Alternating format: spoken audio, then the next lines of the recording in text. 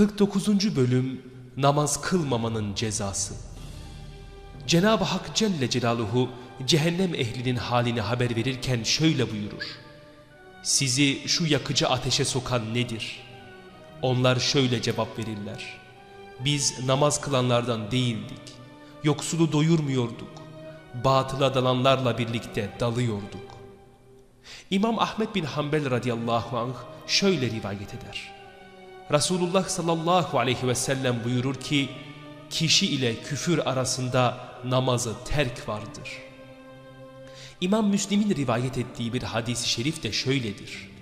Kişi ile küfür veya şirk arasında sadece namazı terk vardır. Ebu Davud ve Nesai ise şöyle rivayet eder. Kişi ile küfür arasında sadece namazı terk vardır.''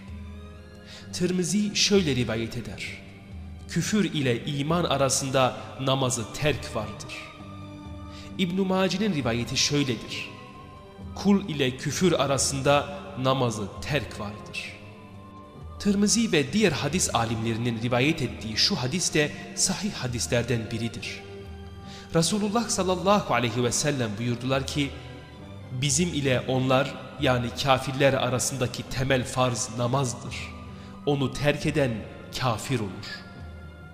Et-Tabarani'nin rivayet ettiği bir hadisi şerif de şöyledir. Kasten namazı terk eden kişi açıkça küfre girmiş olur. Diğer bir rivayet ise şöyledir. Kul ile küfür veya şirk arasında namazı terk vardır. Namazı terk edince küfre girer. Başka bir rivayet şöyledir kul ile şirk arasında namazı terkten başka bir şey yoktur. Namazı terk edince şirke düşer. Diğer bir rivayet de şöyledir. İslam'ın izzeti ve temeli üç esasa dayanır. Ve İslam binası bu üç temel üzerinde yükselir. Kim bunlardan birini terk ederse bu sebeple küfre girer ve kanı helal olur. Bu üç temel Allah'tan başka ilah bulunmadığına şehadet getirmek, farz namazları kılmak ve Ramazan orucunu tutmaktır. Diğer bir rivayette şu ifade vardır. Bu temel esaslardan birini kim terk ederse Allah'a karşı kafir olur. Allahu Teala Celle Celaluhu onun hiçbir tasarrufunu ve adaletli davranışını kabul etmez. Onun kanı da canı da helal olur.''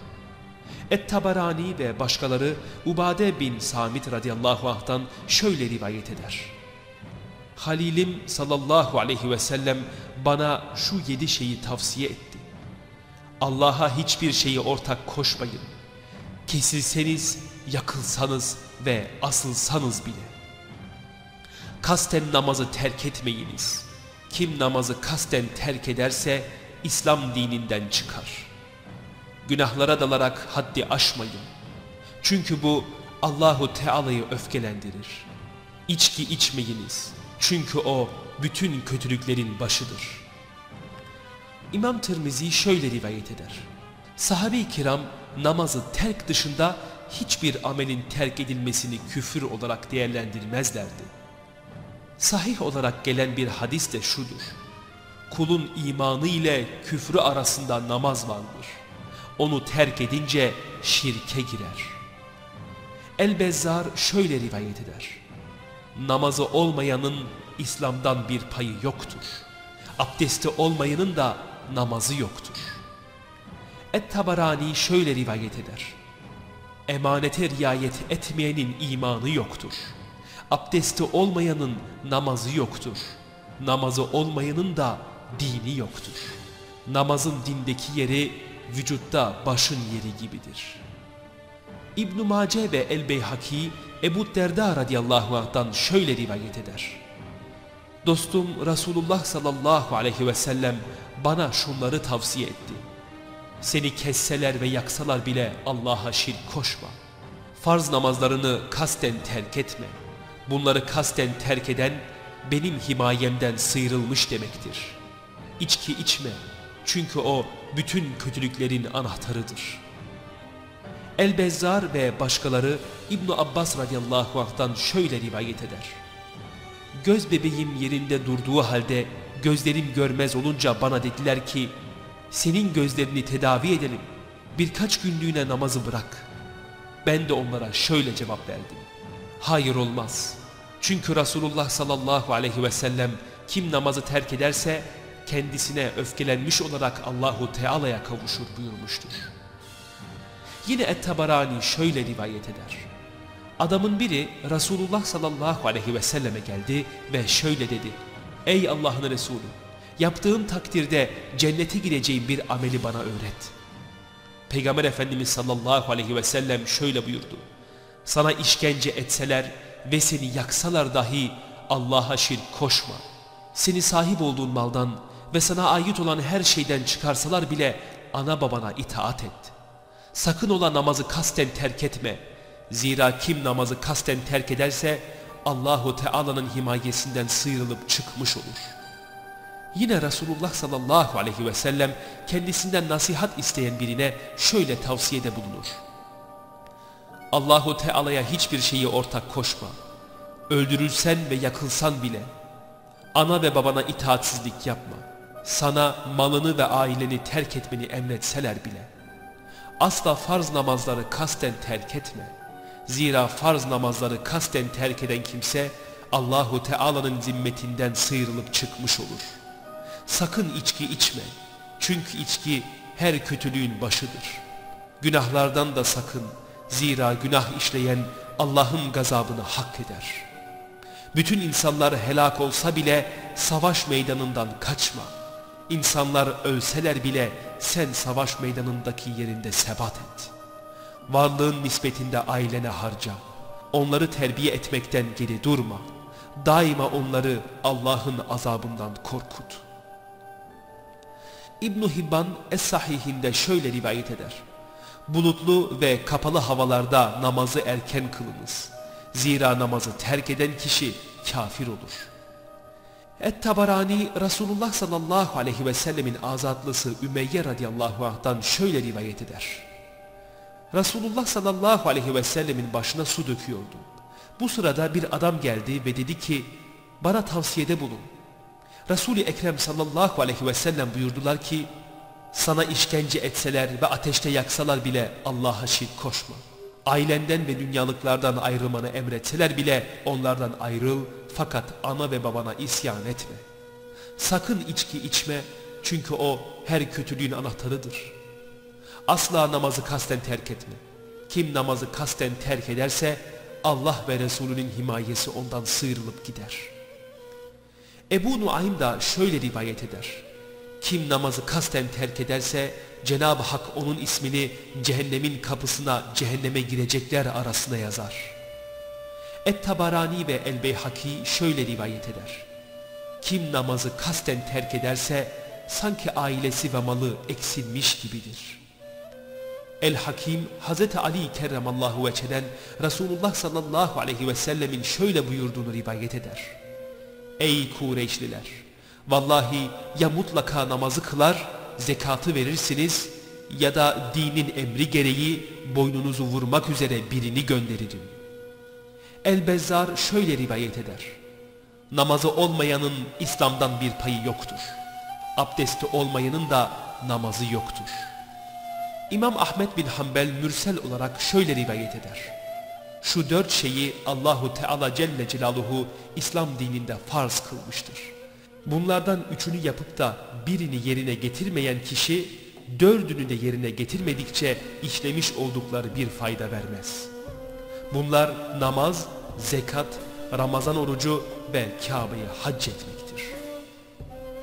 El-İsbahani'nin rivayetine göre Resulullah sallallahu aleyhi ve sellem şöyle buyurur. Kim kasten namazı terk ederse Allahu Teala Celle Celaluhu onun amelini boşa çıkarır ve tövbe edip Allah yoluna dönünceye kadar o kişi Allah'ın himayesinden çıkmış olur. Et-Tabarani şöyle rivayet eder. Kim namazı terk ederse açıkça kafir olur. İmam Ahmet bin Hanbel şöyle rivayet eder. Namazı kasten terk etmeyin. Zira kim namazı kasten terk ederse o kişi Allah ve Resulünün himayesinden çıkmış olur. İbn Ebi Şeybe ve Bukhari tarihinde mevkuf olarak Hazreti Ali kerramallahu veçhenin şöyle söylediğini rivayet eder. Namaz kılmayan kişi kafirdir. Muhammed bin Nasır ve İbn Abdilber yine mevkuf olarak İbn Abbas radıyallahu anh'ın şu sözünü rivayet eder. Kim namazı terk ederse kafir olur. Yine Muhammed bin Nasır mevkuf olarak İbn Mesud radıyallahu anh'tan şöyle rivayet eder. Namazı terk edenin dini yoktur. İbn Abdilber mevkuf olarak Cabir bin Abdullah radıyallahu anh'tan şöyle rivayet eder. Namaz kılmayan kişi kafirdir. İbn Abdilber ve başkaları mevkuf olarak Ebu Derda radıyallahu anh'tan şöyle rivayet eder. Namazı olmayanın imanı yoktur. Abdesti olmayanın da namazı yoktur. İbn Ebi Şeybe Resulullah sallallahu aleyhi ve sellemin şöyle buyurduğunu rivayet eder. Kim namazı terk ederse gerçekten kafir olur. Muhammed bin Nasır şöyle der. İshak'ın şöyle dediğini işittim. Resulullah sallallahu aleyhi ve sellemin namazı terk eden kişi kafirdir buyurduğu sahihtir yani doğrudur. Resulullah sallallahu aleyhi ve sellem'den gelen bu bilgiye dayanarak alimler de namazı özürsüz olarak vakti çıkıncaya kadar kasten terk eden kişinin kafir olduğuna hükmetmişlerdir. Eyyub şöyle der. Namazı terk etmek küfürdür. Bunda hiçbir ihtilaf yoktur. Nitekim Cenab-ı Hak şöyle buyurur. Nihayet onların peşinden öyle bir nesil geldi ki bunlar namazı bıraktılar. Nefislerinin arzularına uydular. Bu yüzden ileride sapıklıklarının cezasını çekecekler. Ancak tövbe edip iman eden ve iyi davranışta bulunan kimseler hariçtir. Bunlar cennete girecekler ve hiçbir haksızlığa uğratılmayacaklardır. İbn Mesud radıyallahu anh der ki ayet-i kerimede geçen namazı bıraktılar ifadesi namazı büsbütün bıraktılar manasına değil namazları vaktinde kılmadılar demektir. Tabiunun önde gelen alimlerinden olan Said bin el-Müseyyib radıyallahu anh şöyle der. Ayet-i kerimede geçen namazı bıraktılar ifadesiyle ikindi olmadan öğle namazını, akşam olmadan ikindi namazını, yatsı olmadan akşam namazını, sabah olmadan yatsı namazını, güneş doğmadan sabah namazını kılmayanlar kastedilmektedir. Bu huyda ısrar ederek tövbe etmeden bu hal üzere ölen kişileri Cenab-ı Hak ceza olarak cehennemde Gayya kuyusuna atmakla tehdit etmiştir. Gayya kuyusu cehennemin dibinde ve azabın şiddetli olduğu bir yerdir. Cenab-ı Hak şöyle buyurur. Ey iman edenler! Mallarınız ve çocuklarınız sizi Allah'ı anmaktan alıkoymasın. Kim bunu yaparsa işte onlar ziyana uğrayanlardır. Tefsir alimlerinden büyük bir kısmına göre yukarıdaki ayeti kerimede geçen Allah'ı anmak ifadesinden kastedilen beş vakit namazdır. Buna göre malı, alışverişi, sanatı veya çocukları bir kimseyi namaza almaktan alıkoyarsa o kimse ziyana uğrayanlardan olur. İşte bu sebeple Resulullah sallallahu aleyhi ve sellem buyurmuştur ki kıyamet günü kulun ilk hesaba çekileceği şey namazdır. Eğer bunun hesabını düzgün bir şekilde verebilirse kurtuluşa ve başarıya erişmiş olur. Eğer namaz konusunda eksiği çıkarsa kaybetmiş ve ziyana uğramış olur. Yine Cenab-ı Hak Celle Celaluhu şöyle buyurur. Yazıklar olsun o namaz kılanlara ki onlar namazlarını ciddiye almazlar. Resulullah sallallahu aleyhi ve sellem buyurur ki ayette söz konusu edilenler namazları vaktinden sonraya erteleyenlerdir. İmam Ahmet bin Hanbel ceyyid bir senet ile Et-Tabarani ve İbn Hibban da Es-Sahihinde şöyle rivayet eder. Resulullah sallallahu aleyhi ve sellem bir gün namazdan bahsetti ve şöyle buyurdu. Kim namazını sürekli olarak kılar ve onu korursa kıyamet günü namazı kendisi için bir nur, kurtuluş vesilesi ve kılavuz olur namazlarına gerekli özeni göstermeyenlerin ise ne bir nuru, ne kurtarıcısı ve ne de kılavuzları olur. Onlar kıyamet günü Firavun, Karun, Haman ve Ümeyye bin Halef ile birlikte olur. Alimler der ki, namazlarına titizlik göstermeyenlerin kıyamet günü bu gibi kimselerle birlikte olmasının sebebi ya Karun gibi serveti kendisini namazdan alıkoyar ve onunla birlikte haşredilir ya Firavun gibi saltanatı sebebiyle namazdan geri kalır ve onunla birlikte haşredilir yahut da üzerine aldığı diğer bir iş sebebiyle namazını savsaklar bu takdirde de Haman ile birlikte haşredilir. Veya ticareti sebebiyle namazdan geri kalır ve Mekkeli kafirlerin taciri olan Ümeyye bin Halef ile birlikte haşredilir.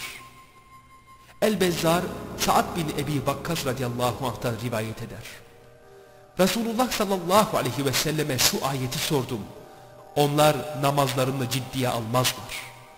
Buyurdular ki onlar namazı vaktinde kılmayıp sonraya erteleyenlerdir. Ebu Ya'la Hasan bir senet ile Mus'ab bin Sa'ad radıyallahu anh'tan şöyle rivayet eder.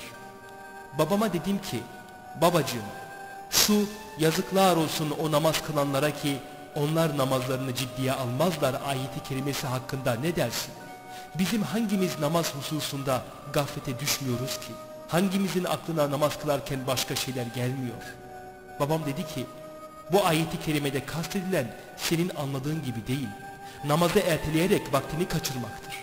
Zira ayette geçen beyil kelimesinin manası şiddetli azaptır. Hatta bunun cehennemde bir vadi olduğu da söylenmiştir. Dünyadaki bütün dağlar oraya konsa sıcaklığın şiddetinden hepsi de eriyi verir. Burası namazı hafife alanların, onu vaktinden sonraya erteleyenlerin yeridir. Ancak tövbe eder, Allah'ın emrine döner ve yaptıklarına pişman olurlarsa o başka. İbn-i Hibban Es-Sahihinde şöyle rivayet eder. Kim bir namazı kaçırırsa sanki ailesinde ve malında bir eksilme olmuş gibidir. Yine El-Hakim'in rivayet ettiği ancak senedi üzerinde ihtilaf edilen bir hadisi şerif şöyledir. Kim bir özrü olmadan iki namazı birleştirirse büyük bir günah işlemiş olur. Bukhari ve Müslim ile diğer dört hadis kitabı yani Tirmizi, İbn Mace, Ebu Davud ve Nesai şöyle rivayet eder. İkindi namazını kaçıran kimsenin uğradığı zarar yönünden durumu malını ve ehlini kaybeden kimsenin durumu gibidir. İbn Huzeyme Es-Sahihinde şöyle der. İmam Malik radıyallahu anh bu hadisi açıklarken der ki namazı kaçırmak namazın vaktini geçirmek demektir. Nesai şöyle rivayet eder. Namazlar arasında öyle bir namaz var ki onu kaçıran sanki ailesini ve malını kaybetmiş gibidir. Bu hadisi şerifte ikindi namazına işaret edilmektedir. İmam Müslim ve Nesai şöyle rivayet eder. Gerçekten şu namaz yani ikindi namazı sizden öncekilere arz edildi. Fakat onlar onu zayi ettiler. Artık bu namaza aranızda kim muhafaza ederse yani vaktinde itinayla kılarsa onun için iki kat ecir vardır. Bu namazdan sonra hava kararıp da yıldızlar doğuncaya kadar başka namaz yoktur. Bukhari, Ahmet bin Hanbel ve Nesai şöyle rivayet eder. Kim ikindi namazını terk ederse ameli boşa çıkar. Ahmet bin Hanbel sahih bir senet ile ve İbn Ebi Şeybe şöyle rivayet eder. Kim kasten ikindi namazını terk eder ve böylece namazı kaçırırsa ameli boşa çıkar. İbn Ebi Şeybe mürsel olarak şöyle rivayet eder.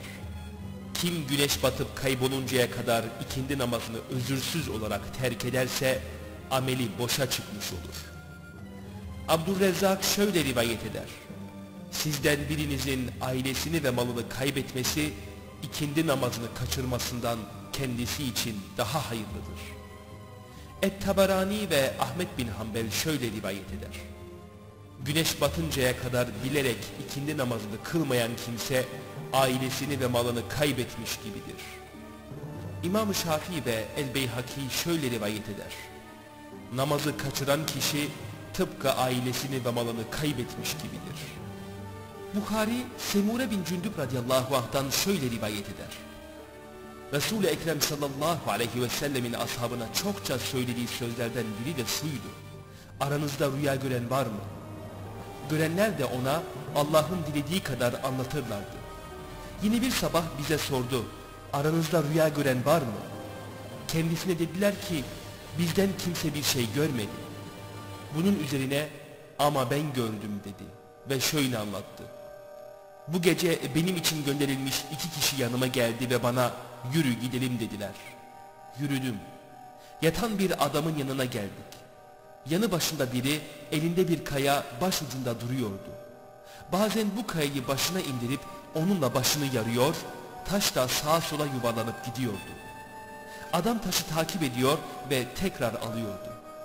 Ama başı eskisi gibi iyileşinceye kadar vurmuyordu. İyileştikten sonra tekrar indiriyor, önceki yaptıklarını aynen tekrarlıyordu. Beni getirenleri sordum, Subhanallah nedir bu? Dinlemeyip yürü, yürü dediler. Yürüdük, sırt üstü uzanmış birinin yanına geldik. Bunun da yanında elinde demir kançalar bulunan biri duruyordu. Adamın bir yüzüne gelip çengeli takıp yüzünün yarısını ensesine kadar soyuyordu. Burnu ve gözü enseye kadar soyuluyordu. Sonra öbür tarafına geçip aynı şekilde diğer yüzünün derisini de ensesine kadar soyuyordu. Bu da yüz derileri iyileşip eskisi gibi sıhhate kavuşuncaya kadar bekliyor, sonra tekrar önce yaptıklarını yapmaya başlıyordu. Ben burada da dedim ki, Subhanallah nedir bu? Cevap vermeyip yürü yürü dediler. Beraberce yürüdük. Fırın gibi bir yere geldik. İçinden bir takım gürültüler, sesler geliyordu. Gördük ki içinde bir kısım çıplak kadınlar ve erkekler var. Aşağı taraflarından bir alev yükselip onları yalıyordu. Bu alev onlara ulaşınca feryatları yükseliyordu. Ben yine dayanamayıp sordum, bunlar kimdir? Bana cevap vermeyip yürü, yürü dediler. Beraberce yürüdük. Kan gibi kırmızı bir nehir kenarına geldik. Nehirde yüzen bir adam vardı. Nehir kenarında da yanında birçok taş bulunan bir adam duruyordu. Adam bir müddet yüzüp kıyıya doğru yanaşınca yanında taşlar bulunan adam geliyor, öbürü ağzını açıyor, bu da ona bir taş atıp kovalıyordu. Adam bir müddet yüzdükten sonra geri dönüp adama doğru yine yaklaşıyordu. Her dönüşünde ağzını açıyor, kıyıdaki de ona bir taş atıyordu. Ben yine dayanamayıp sordum, bu nedir? Cevap vermeyip yürü, yürü dediler. Beraberce yürüdük. Çok çirkin görünüşlü bir adamın yanına geldik. Böylesine çirkin birini görmemişsindir. Bunun yanında bir ateş vardı. Adam ateşi tutuşturup etrafında dönüyordu. Ben yine sordum, bu nedir? Cevap vermedi. Yürü, yürü dediler. Beraberce yürüdük. İri iri ağaçları olan bir bahçeye geldik. İçerisinde her çeşit bahar çiçekleri vardı. Bu bahçenin içinde çok uzun boylu bir adam vardı. Semaya yükselen başını neredeyse göremiyordum. Etrafında çok sayıda çocuklar vardı. Ben yine sordum, bu nedir, bunlar kimdir? Cevap vermeyip yürü, yürü dediler. Beraberce yürüdük. Ulu bir ağacın yanına geldik. Ne bundan daha büyük ne de daha güzel bir ağaç hiç görmedim. Arkadaşlarım ağaca çık dediler. Beraber de çıkmaya başladık. Altın ve gümüş tuğlalarla yapılmış bir şehre doğru yükselmeye başladık. Derken şehrin kapısına geldik. Kapıyı çalıp açmalarını istedik. Açtılar ve beraberce girdik. Bizi bir kısım insanlar karşıladı. Bunlar yaratılışça ve yarısı çok güzel, diğer yarısı da çok çirkin kimselerdi. Sanki böylesine güzellik, böylesine çirkinlik görmemişsindir. Arkadaşlarım onlara dediler ki, gidin şu nehre dalıp çıkın. Meğerse orada açıkça bir nehir varmış. Suyu sanki safi sütü bembeyaz. Gidip içine dalıp çıktılar. Çirkinlikleri tamamen gitmiş olarak geri geldiler.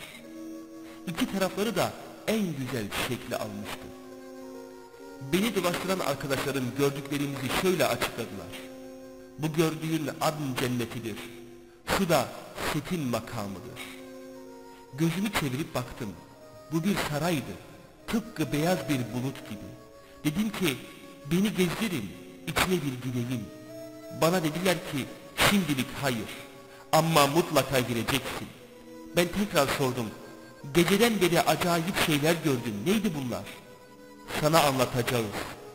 taşla başı yarılan o ilk gördüğün adam, Kur'an'ı atıp reddeden, farz namazlarda uyuyup kılmayan kimsedir.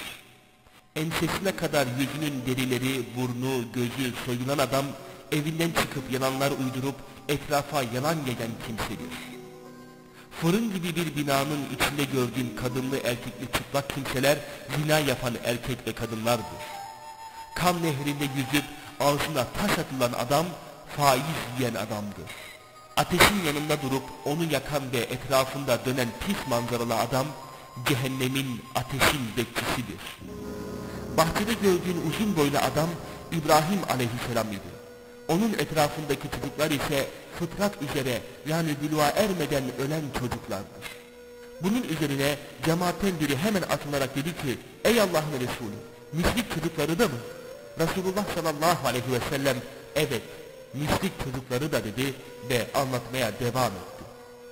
Yarısı güzel yarısı çirkin yaratılışta olan adamlara gelince bunlar iyi amellerle kötü amelleri birbirine karıştırıp her ikisini de yapan kimselerdir. Allah onlara affetmiştir. El-Bezzar'ın rivayetine göre hadis-i şerif şöyle sona erer. Sonra Resulullah sallallahu aleyhi ve sellem başları taşla ezilen bir topluluğa uğradı. Başları her ezilişinde tekrar eski haline geliyordu. Onlara yapılan bu işlem durmaksızın devam ediyordu. Resulullah sallallahu aleyhi ve sellem sordu. Ey Cibril kim bunlar? Cebrail aleyhisselam şöyle cevap verdi. Onlar namazla başları dertte olan kişilerdir. El-Hatib el-Baghdadi ve İbn-i şöyle rivayet eder. İslam'ın nişanesi namazdır. Bütün kalbini vererek namazlarını kılanlar, namazların şartlarına, farzlarına, sünnetlerini itina göstererek ve vakitlerine dikkat ederek namaz üzerine titreyenler mümindir. İbn-i Mace şöyle rivayet eder. Cenab-ı Hak Celle Celaluhu şöyle buyurur. Senin ümmetine beş vakit namazı farz kıldım. Bu namazları vakitlerine riayet ederek kılmak suretiyle muhafaza edenleri cennete sokacağıma katından ah verdim. Fakat beş vakit namazı vaktinde kılmayıp savsaklayanlara tarafından verilmiş hiçbir söz yoktur. İmam Ahmet bin Hanbel ve El-Hakim şöyle rivayet eder. Kim namazın kendisi üzerine bir borç olduğunu bilir ve gereği gibi eda ederse cennete girer. Tirmizi, Nesai ve İbn-i Mace şöyle rivayet eder. Kıyamet günü kulun hesaba çekileceği ilk ameli namazdır. Bu hesabı iyi geçerse kurtulmuş ve başarıya erişmiş olur. Eğer bu hesabı bozuk giderse kaybetmiş ve hüsrana uğramış olur. Eğer farz namazlarında eksiği bulunursa Cenab-ı Hak Celle Celaluhu şöyle buyurur. Bakın bakalım kulumun tatavvu yani farz dışında kıldığı namazları var mı?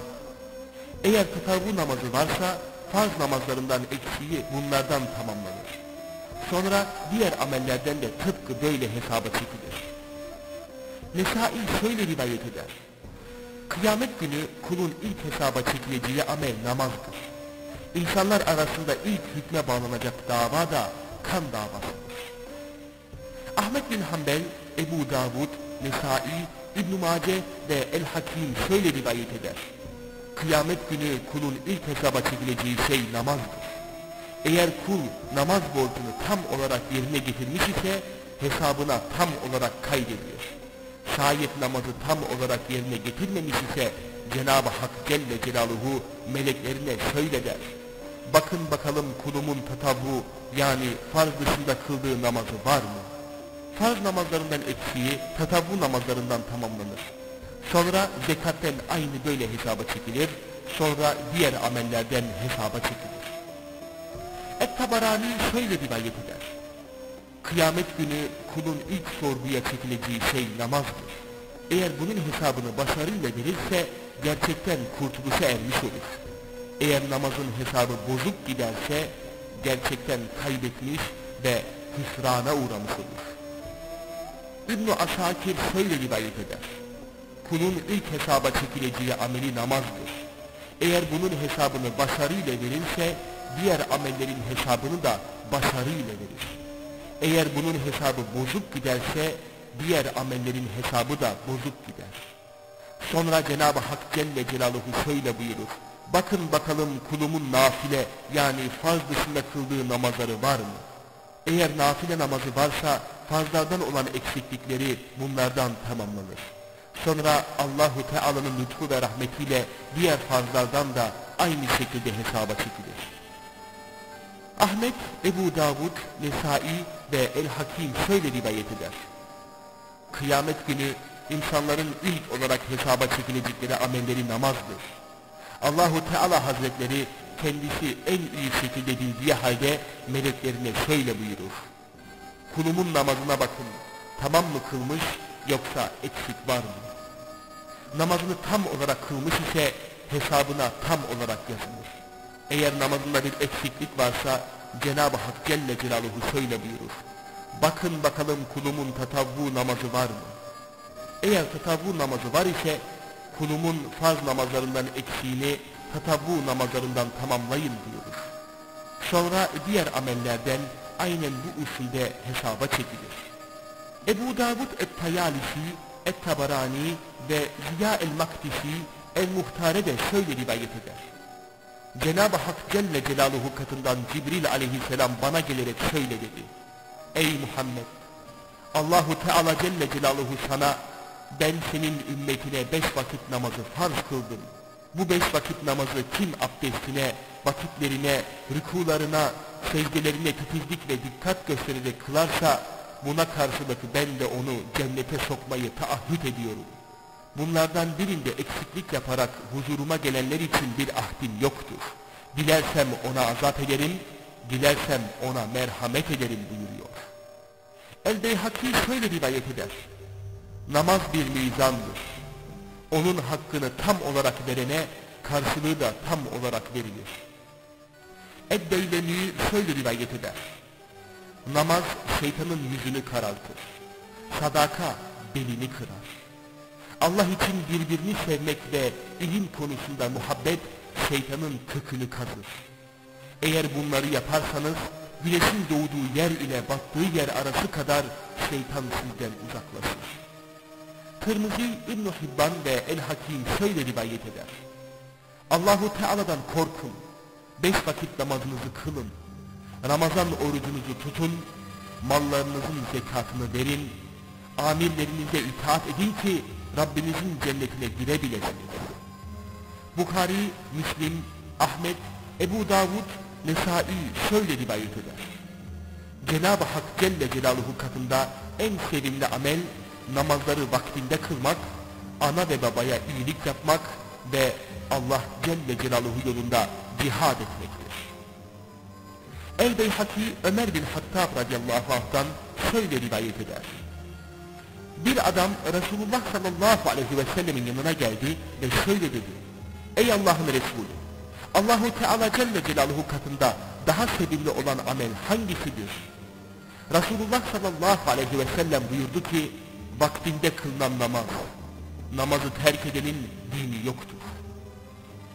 Gerçekten de namaz dinin direğidir. Bu yüzden Hazreti Ömer radıyallahu anh yaralandığında kendisine ey müminlerin halifesi namaz vakti denildiği zaman şöyle cevap vermişti. Namaz ne güzeldir. Namazı kılmayanın gerçekten İslam'dan bir nasibi yoktur. Bu sözlerden sonra yarasından kanlar aka aka namazını kıldı. Ez-Zehebi Resulullah sallallahu aleyhi ve sellem'den şöyle rivayet eder. Kul vakti girer girmez namazı kılınca namazı nurlar saçarak arsa varıncaya kadar semaya yükselir. Sahibi için kıyamet gününe kadar istiğfar eder ve şöyle der. Beni koruduğun gibi Allahu Teala da seni korusun. Kul namazını vakti dışında kılınca namaz zulumete bürünerek semaya doğru yükselir. Semada varacağı yere varınca tıpkı bir pakavra gibi dürülerek sahibinin yüzüne çarpılır. Ebu Davud Resulullah sallallahu aleyhi ve sellem'den şöyle rivayet eder. Allahu Teala Celle Celaluhu şu üç kişinin namazını kabul buyurmaz. Resul-i Ekrem sallallahu aleyhi ve sellem bunlar arasında vakti geçtikten sonra namazını kılanları da saymıştır. Hadislerden anlaşıldığına göre namazlarına itina göstererek kılan kişilere Allahu Teala Celle Celaluhu şu beş ihsanda bulunur. Geçim darlığı üzerinden kaldırılır. Kabir azabından emin olur. Allahu Teala Celle Celaluhu amel defterini sağ tarafından verir. Sırat köprüsünden yıldırım gibi geçer, hesaba çekilmeden cennete girer. Kim de namaz hususunda gevşek davranır ve namazı safsaklarsa Cenab-ı Hak Celle Celaluhu ona 15 ceza verir. Bunlardan beşi dünyada, üçü ölüm anında, üçü kabirde ve üçü de kabirden çıktığı zamandır. Dünyadakiler şunlardır. Ömrünün bereketi kaldırılır. Yüzündeki üylere ait siması yani nişanı yok edilir. Allahu Teala Celle Celaluhu istediği hiçbir amele mükafat vermez. Hiçbir duası semaya yükselmez. Salihlerin duasından payı olmaz. Ölüm anında karşılaşacağı cezalar zelil olarak ölür, aç olarak can verir, susuz olarak ölür. Dünyadaki bütün denizleri ütse bile susuzluğa kanmadan susuzluk çekerek ölür. Kabirde karşılaşacağı felaketler. Kaburga kemikleri birbirine girecek şekilde kabir kendisini sıkar. Kabrinde kendisine ateş yakılır. Gece gündüz kor ateş içinde debelenip durur. Kabirde kendisine tel ejderha denilen yılan musallat olur. Gözleri ateş ve tırnakları demirden olup her bir tırnağının uzunluğu bir günlük yol kadardır. Bu yılan ölüyle konuşur, sesi kulakları parçalayan gök gürültüsü gibidir. Ben tel ejderhayım. Rabbim bana sabah namazını güneş doğana kadar, öğle namazını ikindiye kadar, ikindi namazını güneş batana kadar, akşam namazını yatsıya kadar ve yatsı namazını tecir doğana kadar geciktirip zayi etmen sebebiyle her biri için ayrı ayrı dövmeni emretti der. Yılanın her darbesiyle yetmiş arşın yerin içine gömülür. Kıyamet gününe kadar bu şekilde azap görmeye devam eder. Kabirden kalkıp mahşer yerine vardığında karşılaşacağı musibetler. Hesabı çetin olur.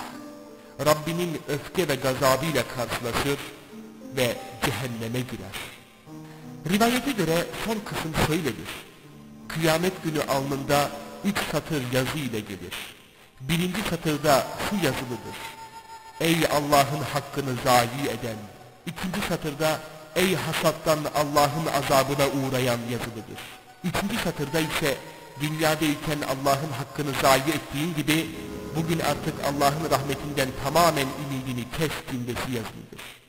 Bu hadis-i şerifte namaza gereken özeni göstermeyenlere verileceği belirtilen cezaların toplam sayısı 15'e ulaşmıyor. Açıklananların sayısı 14 tanedir. Belki de Rabi 15. söylemeyi unutmuştur. İbn Abbas radıyallahu anh şöyle.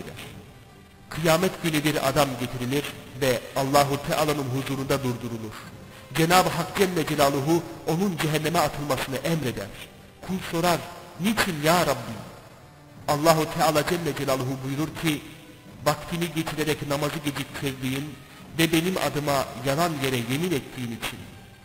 Yine Resulullah sallallahu aleyhi ve sellem'den rivayet edilir. Resulullah sallallahu aleyhi ve sellem bir gün ashabına şöyle der. Şöyle deyiniz, Allah'ım aramızda mahrum ve bedbaht kimse bırakma. Bu sözlerden sonra Resulullah sallallahu aleyhi ve sellem buyurdu ki, bedbaht ve mahrum kimdir bilir misiniz? Dedik ki, ey Allah'ın Resulü onlar kimdir? Peygamber Efendimiz sallallahu aleyhi ve sellem şöyle buyurdu, namazı terk edenlerdir. Yine rivayet edildiğine göre kıyamet günü ilk olarak namaz kılmayanların yüzü kararır. Cehennemde lemlem denilen bir vadi vardır. Bu vadi yılanlarla doludur ve her bir yılan devenin boynu kalınlığında bir aylık yol uzunluğundadır. Bunlar namazlarını kılmayanları sokar. Yılanın ısırdığı kişinin bedeninde zehir 70 sene kaynar ve sonunda etleri çürüyerek dökülür. Yine rivayet edildiğine göre İsrail oğullarından bir kadın Musa aleyhisselama gelir ve der ki Ey Allah'ın Resulü büyük bir günah işledim. Fakat tövbe ederek Allah'a yöneldim.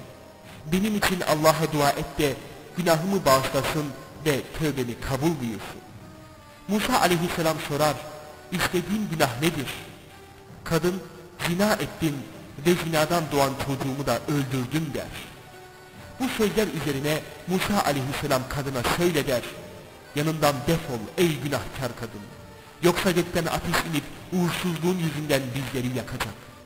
Kadın kalbi kırık bir şekilde oradan çıkar. Cibril aleyhisselam Musa aleyhisselamın yanına gelir ve der ki Allahu Teala sana buyuruyor ki tevbe eden kadını neden reddettin? Ey Musa sen bundan daha fenalarıyla karşılaşmadın mı? Musa aleyhisselam sorar bundan daha fena olanlar kimlerdir? Şöyle der kasten bile bile namazı terk edenler. Yine anlatıldığına göre bir kişi vefat eden kız kardeşini defneder ve o esnada cüzdanını kabre düşürür. Fakat kabirden ayrılıp gittikten sonra bunun farkına varır. Cüzdanı mezara düşürdüğünü hatırlar ve geri mezarın başına gelir. İnsanlar kabrin etrafından uzaklaştıktan sonra kabri kazar, bir de bakar ki kabrin içi tutuşmuş alev alev yanıyor. Hemen kabri geri kapatır ve ağlayarak kederli bir şekilde anasının yanına varır. Anasına der ki, anacığım bana kız kardeşim ve yaptıkları hakkında bilgi ver. Anası bu isteğe şöyle karşılık verir. Niçin soruyorsun? Adam şöyle der, anacığım kız kardeşimin kabrinde ateş yandığını gördüm. Anası da ağlamaya başlar ve şöyle der, yavrum kardeşim namazı önemsemez, hep vaktini geçirdikten sonra kılardı. Namazı vaktinde kılmayanların hali böyle olunca ya hiç kılmayanların hali acaba nasıl olur? Allahu Teala Celle Celaluhu'dan namazları vaktinde ve bütün gereklerini yerine getirerek kılmamız hususunda bizlere yardımcı olmasını niyaz ediniz. O gerçekten çok cömert, ihsanı bol, çok şefkatli ve merhametlidir. 50. Bölüm Cehennemin Yapısı ve Azabı Cenab-ı Hak Celle Celaluhu şöyle buyurur. Cehennemin yedi kapısı vardır. Her kapı için birer grup ayrılmıştır. Ayet-i Kerime'nin metninde geçen cüz kelimesi kısım, taife ve grup manasındadır.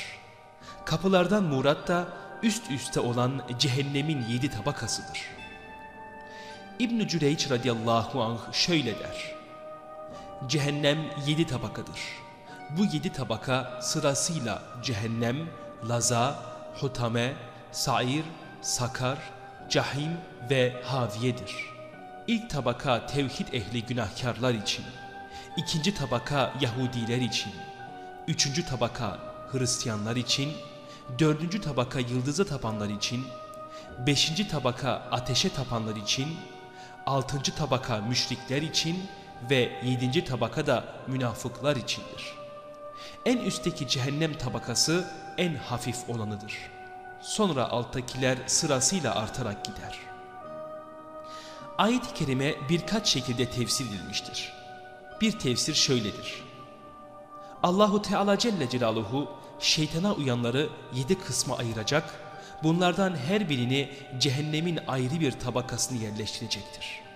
Zira küfür ve günahın mertebeleri farklı farklı olup buna göre cehennemdeki dereceleri de birbirinden farklı olacaktır.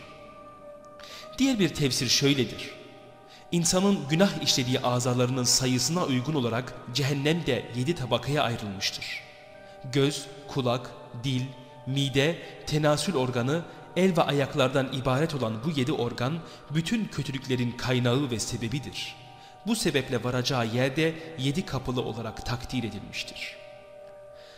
Hz. Ali kerramallahu veçhe şöyle der. Cehennem üst üste yedi tabaka halindedir. Önce ilk tabaka dolar, sonra ikinci, arkasından üçüncü tabaka dolarak tamamı doluncaya kadar devam eder.'' Buhari Et-Tarihul Kebir'inde ve Tirmizi İbn Ömer radıyallahu anh'tan Resulullah sallallahu aleyhi ve sellem'den şöyle rivayet eder. Cehennemin yedi kapısı vardır. Bu kapılardan biri ümmetime silah çekenlere ayrılmıştır. Et-Tabarani El-Mu'cemul Efsat'ta rivayet eder. Cibril aleyhisselam Resulullah sallallahu aleyhi ve selleme her zamankinden farklı bir zamanda geldi. Resulullah sallallahu aleyhi ve sellem onu karşıladı ve dedi ki Ey Cibril neden yüzünün renginin değişmiş olduğunu görüyorum. Cibril aleyhisselam şöyle dedi. Allahu Teala Celle Celaluhu cehennemin körükleri hakkında sana bilgi vermemi emretmiş olmasaydı sana gelmezdim. Peygamber Efendimiz sallallahu aleyhi ve sellem buyurdu. Ey Cibril öyleyse bana cehennemin vasıflarını anlat. Bunun üzerine Cibril aleyhisselam cehennemi şöyle anlatır. Cenab-ı Hak Celle Celaluhu cehennemin bin yıl yakılmasını emretti. Bin yıl yakıldı sonunda bembeyaz oldu. Sonra yine yakılmasını emretti. Bin yıl daha yakıldı ve kıpkırmızı oldu. Yine yakılmasını emir buyurdu. Bin yıl daha yakıldı ve kapkara oldu. Şimdi o simsiyah ve kapkaranlıktır. Kıvılcımları ışık saçmaz ve alevi de hiç sönmez. Seni hak üzere peygamber olarak gönderen Allah'a yemin ederim ki şayet cehennemden iğne deliği büyüklüğünde bir delik açılsa yeryüzünde bulunanların hepsi tamamen ölürlerdi. Seni hak üzere peygamber olarak gönderen Allah'a yemin ederim ki cehennem bekçilerinden biri yeryüzündekilere görünse yüzünün çirkinliğinden ve kokusunun ağırlığı yüzünden dünya halkının tamamı ölürdü. Seni hak üzere peygamber olarak gönderen Allah'a yemin ederim ki Cenab-ı Hakk'ın Kur'an-ı Kerim'de özelliklerini anlattığı cehennem ehline ait zincirlerden birinin halkası dünyadaki dağlardan birinin üzerine bırakılsaydı onu eritip bitirir ve yerin merkezine varıncaya kadar aşağı inerdi. Bunun üzerine Resulullah sallallahu aleyhi ve sellem buyurdu ki bu kadar yeter ey Cibril yoksa kalbim parçalanacak öleceğim. Sonra Resulullah sallallahu aleyhi ve sellem Cibril aleyhisselama baktı. Onun ağladığını görünce dedi ki Cenab-ı Hakk'ın katında öyle bir makamın olduğu halde sen de mi ağlıyorsun? Neden ağlamayayım ki? Asıl benim ağlamam gerekir. Belki Allahu Teala'nın ezeli ilminde şu anda bulunduğum halden başka bir haldeyim. Bilemem. Belki Allahu Teala beni iblisi tabi tuttuğu imtihanın benzeri bir imtihana tabi tutar. Halbuki iblis de önceleri önde gelen meleklerden biriydi.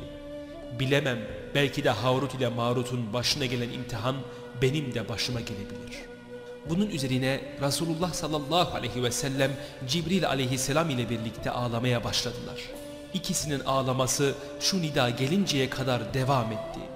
Ey Cibril ve ey Muhammed! Allahu Teala ikinizi de kendisine isyan etmekten emin kılmıştır.''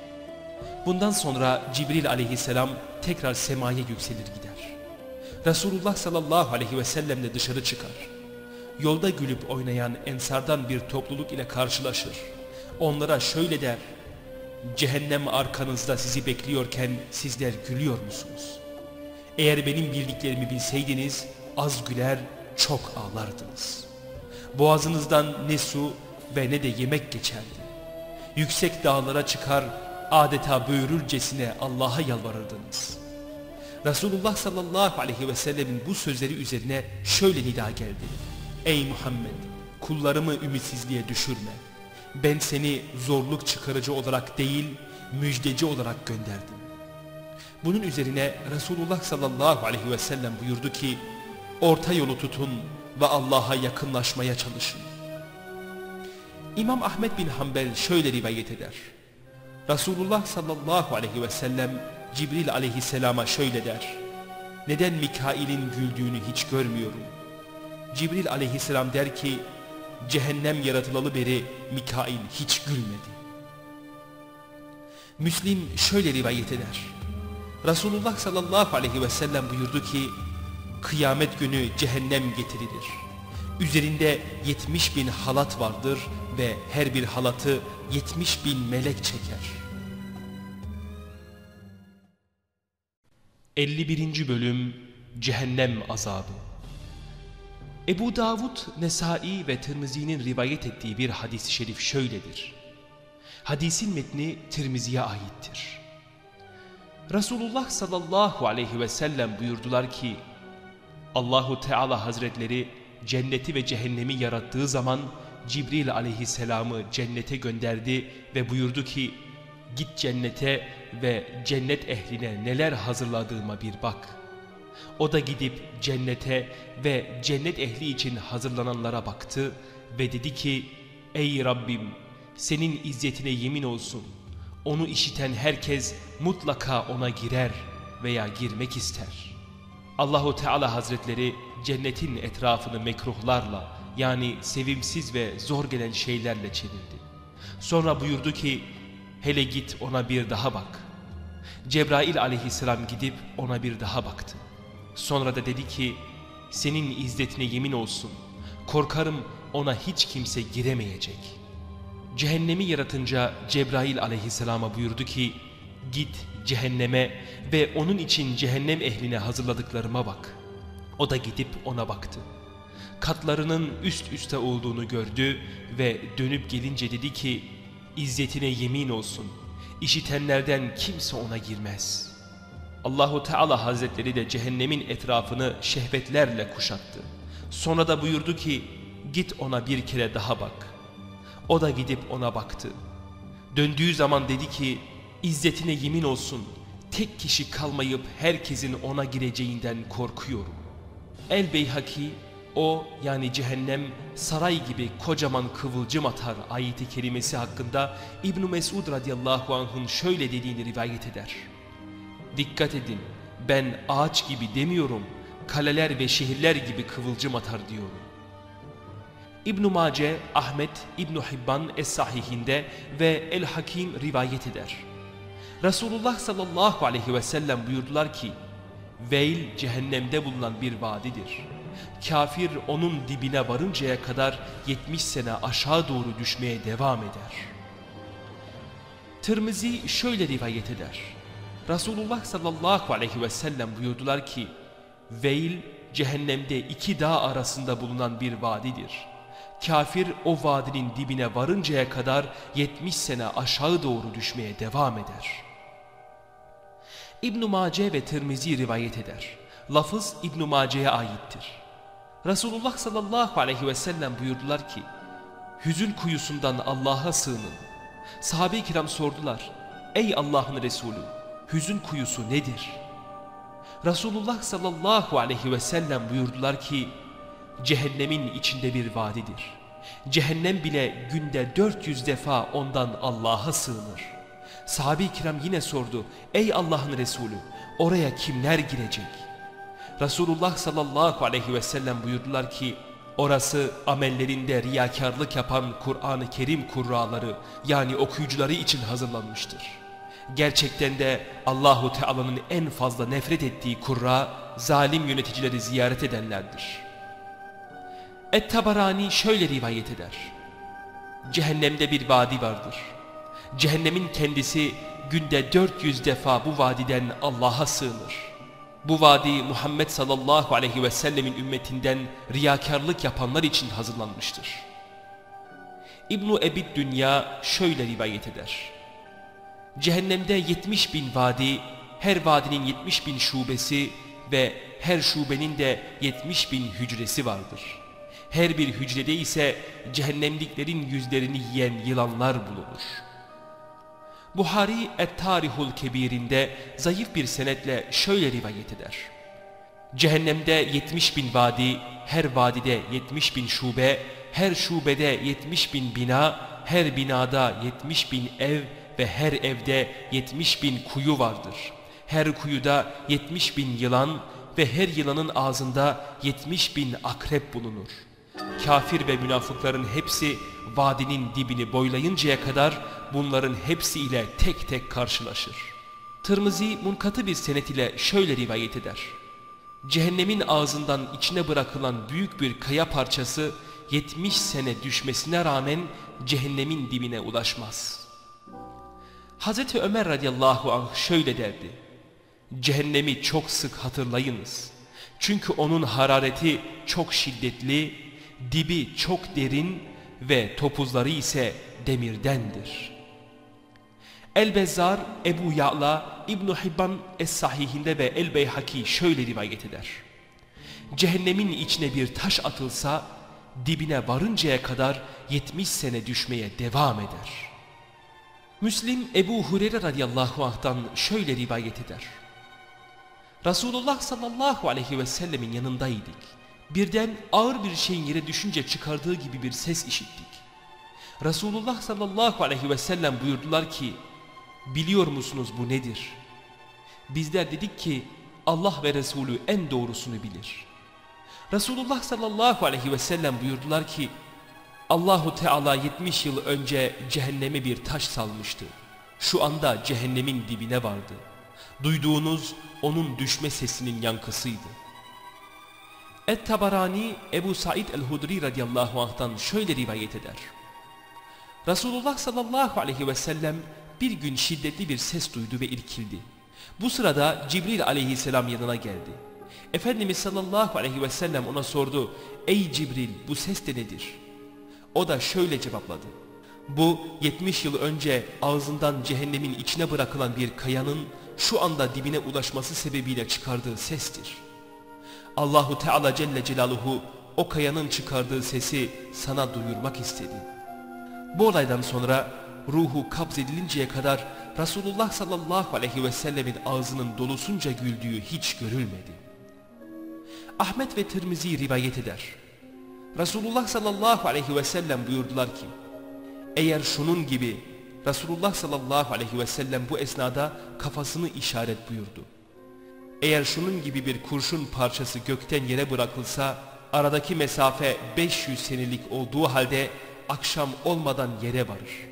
Fakat aynısı cehennemin ağzından içine bırakılsa dibine varabilmek için 40 yıl gece gündüz düşmeye devam eder.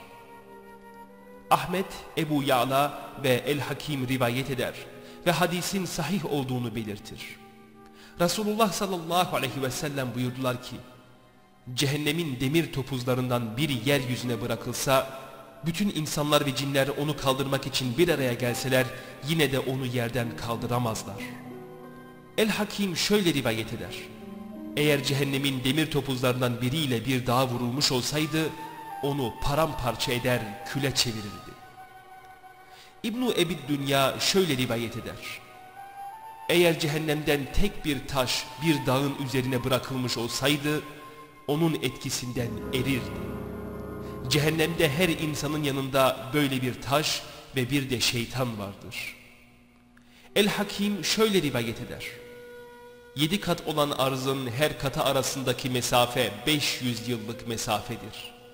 Arzın birinci katı iki tarafı havaya kalkmış bir balığın sırtı üzerindedir. Balık bir kayanın üzerinde, kaya ise bir meleğin elindedir. İkinci kat arz ise rüzgarın hapsedildiği yerdir. Allahu Teala Celle Celaluhu Ad kavmini helak etmeyi irade buyurunca rüzgarların iradesiyle görevli meleğe onları helak etmek üzere rüzgar göndermesini emir buyurdu. Melek sordu, Ya Rabbi öküzün burun deliklerinden çıkardığı kadar rüzgar salayım mı? Cenab-ı Hak Hazretleri buyurdu ki, bu kadarı yeryüzünde bulunanların hepsini öldürmeye kafi gelir. Sen onlara yüzük deliğinden kadar rüzgar gönder. Şu ayet ise bu rüzgara işaret eder. Ad kavminde de ibretler vardır. Onlara kasıp kavuran rüzgarı göndermiştik. Üzerinden geçtiği şeyi canlı bırakmıyor, onu kül edip savuruyordu. Üçüncü kat arzda cehennem taşları ve dördüncü kat arzda ise cehennem kibriti vardır. Sahabe-i kiram sordu. Ey Allah'ın Resulü cehennemin de kibriti mi var? Peygamber Efendimiz sallallahu aleyhi ve sellem buyurdu. Evet var. Nefsimi kudret elinde tutan Allah'a yemin ederim ki o katta öylesine kibrit vadiler vardır ki içine yüce dağlar bırakılsa eriyip su gibi akar. Beşinci kat arzda cehennem yılanları vardır. Ağızları vadi genişliği kadardır. Kafirleri öyle bir ısırır ki kemikleri üzerinden etten eser kalmaz. Altıncı kat arzda cehennem akrepleri bulunur. Onların en küçüğü semerlenmiş katır büyüklüğündedir. Kafire öyle bir darbe vurur ki bu darbe ona cehennemin hararetini unutturur. Yedinci kat arzda ise bir eli önde bir eli arkada demirden kelepçeye vurulmuş iblis vardır. Allahu Teala Celle Celaluhu onu kullarından biri üzerine salmak isteyince çözer. Ahmet et-Tabarani, İbn Hibban Es-Sahihinde ve El-Hakim şöyle rivayet eder. Cehennemde deve boynu kalınlığında yılanlar vardır. İnsana öyle bir sokar ki onun acısı 40 sene geçmez. Yine cehennemde öyle akrepler vardır ki semerlenmiş katır büyüklüğündedir.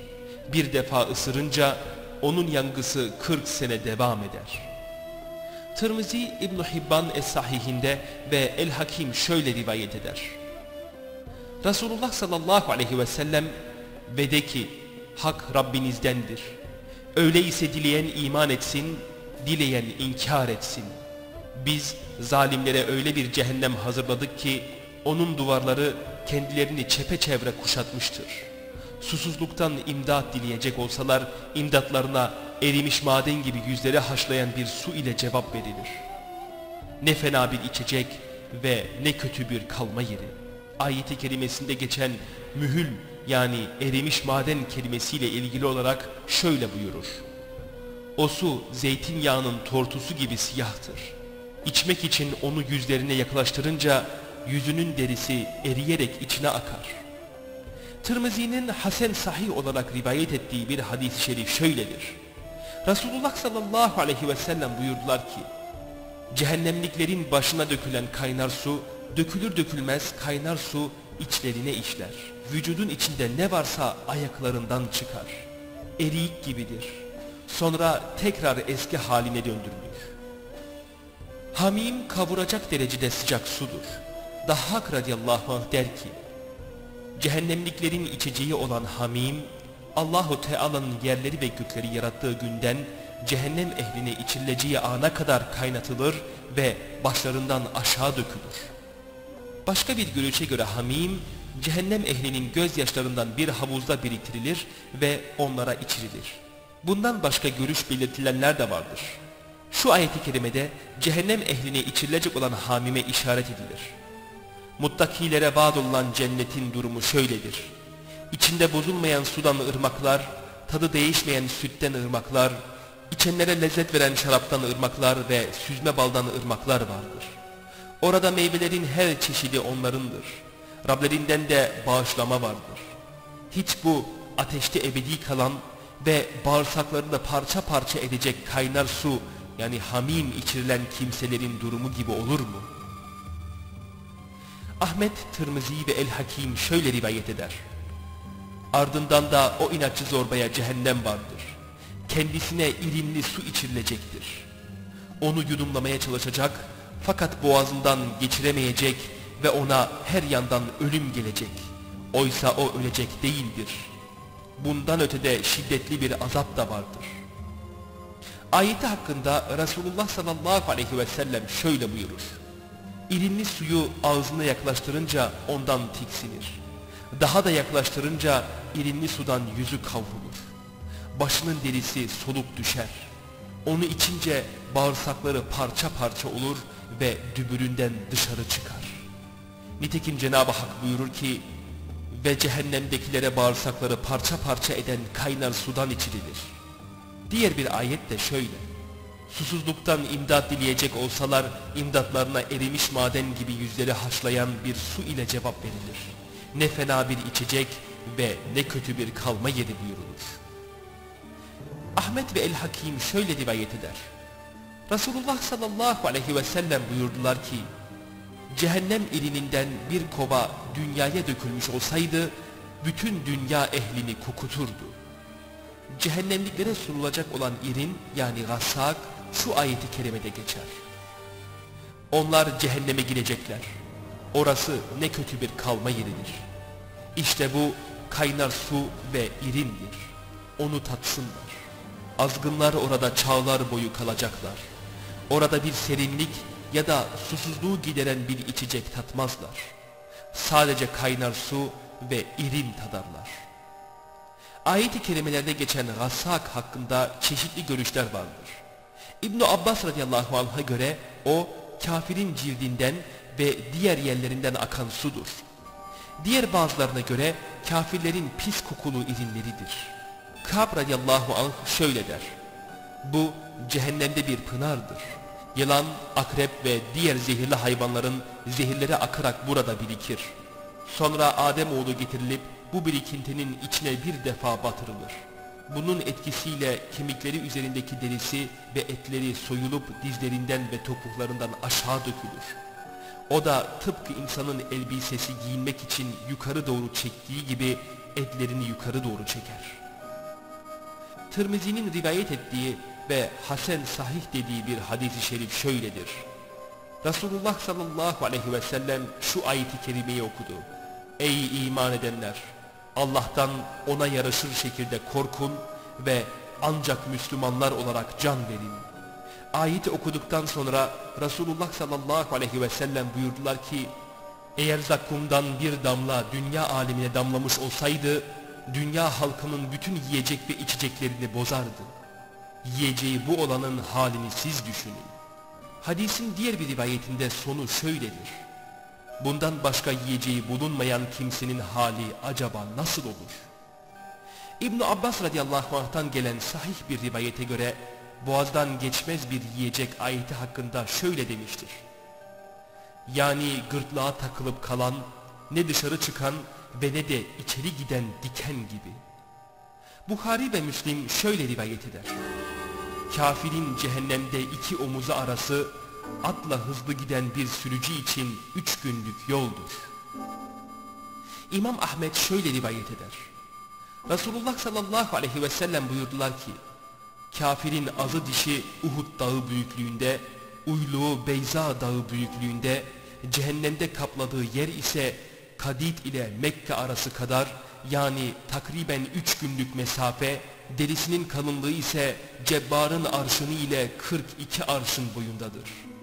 Hadiste geçen Cebbar hakkında denilmiştir ki, Yemen kralı olup boyu uzundu. İbn Hibban ve başkaları böyle söylemişlerdir.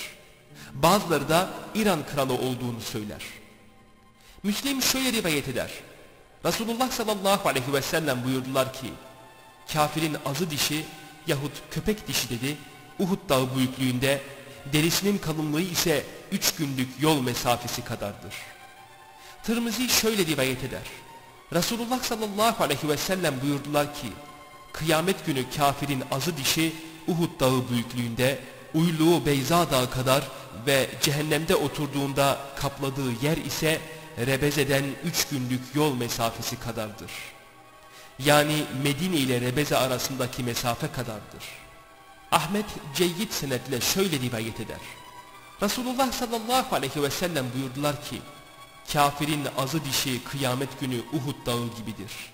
Derisinin genişliği yetmiş arşın, pazuları ise Beyza dağı gibi, uyluğu Verekan dağı gibi, cehennemde oturduğu yer ise burası yani Medine ile Rebeze arası kadardır. Diğer bir rivayet, cehennemde oturduğu yer ise üç günlük yol mesafesi yani Rebeze kadardır şeklindedir. Ahmet Et-Tabarani ve Tirmizi Fudeyl bin Yezid'den şöyle rivayet eder. Kafirin dili bir iki fersah uzatılır. Kıyamet günü insanlar onu çiğnerler. Fudeyl bin Yezid Ebul Aclan'dan şöyle rivayet eder. Kafirin dili kıyamet günü iki persah uzunluğunda yerlerde sürünür. İnsanlar onu çiğner. Bunu El-Beyhaki rivayet etmiştir ve doğru olan budur. Resulullah sallallahu aleyhi ve sellem buyurdular ki, Cehennemliklerin gövdesi cehennemde öyle büyütülür ki her birinin kulak memesi ile omuzu arasındaki mesafe 700 yıllık yol kadardır. Her birinin derisinin kalınlığı 70 arşın ve azı dişleri de Uhud dağı kadardır. Ahmet sahih bir senetle ve El-Hakim sahih olduğunu belirttiği senetle Mücahit'ten şöyle rivayet eder. İbn Abbas radıyallahu anh dedi ki, cehennemin genişliğinin ne kadar olduğunu biliyor musun? Ben dedim ki, hayır bilmiyorum. Bunun üzerine dedi ki, evet vallahi bilmiyorsun. Oradaki cehennemlik bir adamın kulak memesi ile omuz başı arası 70 yıllık yoldur. Onun içinde irin ve kan vadileri akar.